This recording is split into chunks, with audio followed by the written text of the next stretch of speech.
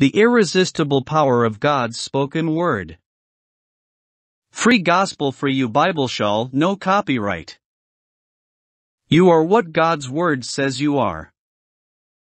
The word of God is dead to you who do not have the Holy Spirit.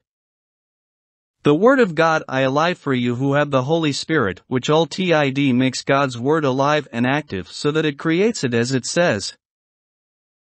The Word of God, spoken in faith in the name of Jesu, has amazing powerful authority, overcoming seemingly insurmountable obstacles. It requires you to open your mouth and proclaim in faith the Word of God. Here it is not enough you Comer church on Sunday and refueler. No. Even when you're at home open your mouth proclaims out loud what God's Word says. Isajas 55 10 11. Thus is my word, which goes out of my mouth, it shall not return to me empty, but it will complete what I desire, and achieve the purpose for which I send it. There is irresistible supernatural power in the Word of God, it will not return to him about throwing it out in the various places it works in the world of the invisible Spirit to us. God's Word will fulfill His desires and purposes. The Word of the Lord will not return to Him invalidly, Isaiah 55 verse 11. In other words, it will get the job done. God's Word is powerful because it is guaranteed by God to be effective. You must necessarily know the Word of God before you can speak and proclaim it in faith so that it works, Therefore you must have the fullness or baptism of the Holy Spirit in you. When you speak God's word, you harness unlimited power. Jeremiah 23 verses 28 to 29 Let he that have my word speak it faithfully. 29 Is not my word like fire, says the Lord, and like a hammer breaking a rock into pieces? Think of the power of God's spoken word like a hammer. Imagine that.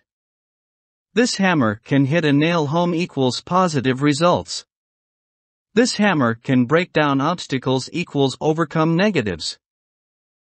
Therefore, people who are affected often become angry and in rebellion towards those who preach the word of truth without putting their fingers in between. Speak God's word faithfully and all kinds of positive things will begin to happen, and all kinds of obstacles and resistance will begin to be broken. Torque slash pray and proclamation also at home. Be aware that God speaks directly by holy breath in you as you see, not everything is in the Bible, you must be filled with the Lord Jesus by the Holy Spirit within you, from which the word of the living water flows out. Three times Jesus spoke to Satan, it is written, and Satan's plans were defeated.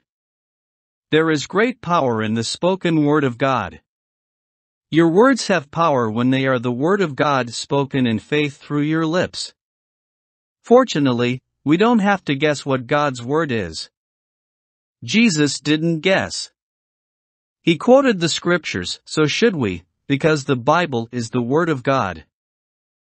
John 11 43 44 After saying this, Jesus cried out in a loud voice, Lazarus, come out. 44. The dead man came out. In 1.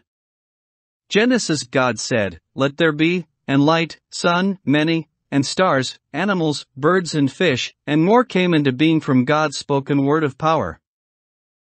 Jesus said, The words that I speak to you, they are spirit, and they are life. John 6 verse 63. Say His word, speak the scriptures of the Bible, because the word of God is life. Hebrews 4 verse 12, NASB, affirms this, the word of God is alive and active. God's words have life, they bring life, just like Jesus' spoken words to the dead Lazarus. Say the powerful word of God to your Lazarus. Devil, come out, for you are overcome by the blood of the Lamb. Cancer, leave this body, for by the wounds of Jesus this child of God was healed. Economy, come in line, for my God shall provide for all my needs according to his wealth and glory. John 8 verse 51 I tell you the truth, if anyone keeps my word, he will never see death. Wow, talk about the mighty power of God's Word. Keep His Word and you will never see death. You don't just know His words, but keep it. The Word of God is the bread of life. Many Christians are as dead they lack the bread of the living Word of life. Throw out to them, let them eat and be satiated in the Word of God, and He wine the Holy Spirit.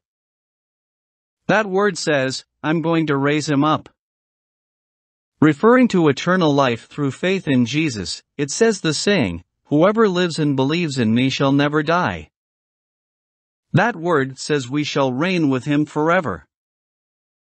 John 8 verses 31 to 32, Then Jesus said to the Jews who believed in him, If I abide by my word, you are truly my disciples. 32, And ye shall know the truth, and the truth shall make you free. His almighty word will set you free. Drugs slash alcohol, I have not used for you, for the Son of God has set me free. The addictive behavior, you are no longer in control of me because Jesus has set me free.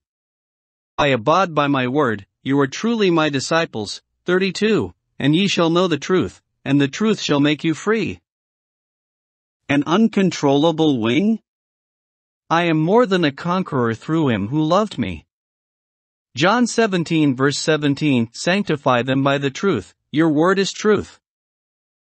Psalm 119 verse 11 I have hidden your word in my heart, that I might not sin against you. God's Word in our hearts is a powerful antidote to sin. Does temptation come through the eyes? I made a pact with my eyes. Temptation to pride? God exalts the humble. Temptation to the flesh? God, with temptation, will create a way out. Temptation to dishonesty? Psalm 51 verse 6 Surely you want truth in the inner parts.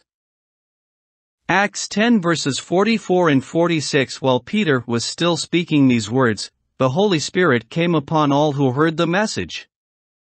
46 For they heard them speak in tongues and praised God. Speak the living Word of God to people to open up to them new dimensions in the Holy Spirit. Tell people what God's Word says about the mighty baptism of the Holy Ghost. Tell them what God's Word says about divine healings, prophecies, miracles. Tell people from God's Word to pray for and expect the demonstration of the Holy Spirit and power. Romans 10 verse 8 But what does it say? The Word is near to you, it is in your mouth and in your heart, that is, the Word of faith we proclaim. People in the Bible understood this. He asked Jesus to speak that word of faith, and his servant would be healed. Peter understood this. He said, Aeneas, Jesus Christ heals you, composes several healing scriptures into five powerful words. Paul understood the importance and power of God's spoken word, Timothy, preach the word. The Almighty Word of God, the Word of faith, is in your mouth to be spoken. Confidently take your stand on God's Word and its power. Speak the Word, and expect its irresistible power to produce astonishing results. The Word of God you must be filled with in your thoughts, lives, and minds. The words of men do not work, they are dead words without the results of God. Study exactly the Word of God, live in Jesus in the Word, speak, and do as Jesus teaches you. As you can see clearly, you are what God's Word says you are. Use the sword of the Spirit, God's Word. Amen.